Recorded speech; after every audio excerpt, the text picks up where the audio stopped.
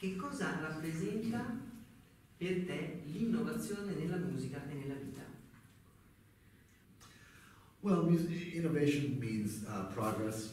Uh, progress means, um, you know, uh, you know, new, um, new things. Uh, that's why, you know, um, you know, innovating. That's the great thing about art. You know, I mean, when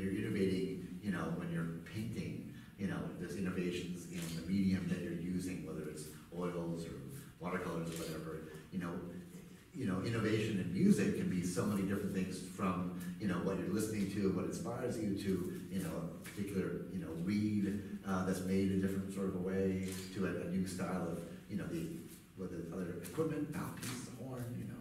Um, uh, you know, new ways of writing music. Now, you know, where before it would take, you know, pencil to paper and your hand would start falling apart halfway through the chart. You know, now mm-hmm. it's all, you know, you can do it much more easily on the computer and digitally, and which is fantastic in my case because less time is spent on the mechanics of putting the notes down on the paper, and more time can be spent on the creative process of making the music.